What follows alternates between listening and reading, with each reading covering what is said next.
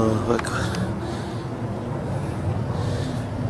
12 8 2015 غارة جوية تستهدف أطراف عين ترمة.